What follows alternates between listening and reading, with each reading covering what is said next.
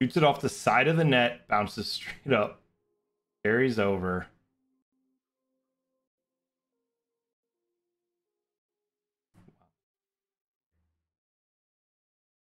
Yeah, it's 100% five hole. My guy, my guy does a split save animation for a puck that's going five hole.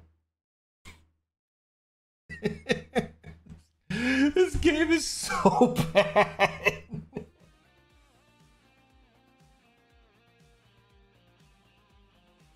Why does he shuffle back to the left like I'm even though I'm not hitting that? That's so wild, man. He should not be like jiggling.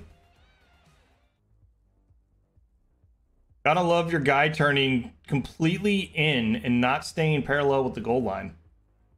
Gotta love these uh, X factors just deciding the game. Like that's just fucking trash, man. There's just no. Let's see this one. Same kind of play. Hold it forehand. Yep, I went split save animation and he went five hole on me again. Holy shit. Do they know something we don't? I've watched this replay and I'm still not even sure how it went in the net. It like grew legs, walked on the side of the net, rocketed itself into my leg pad, and then in.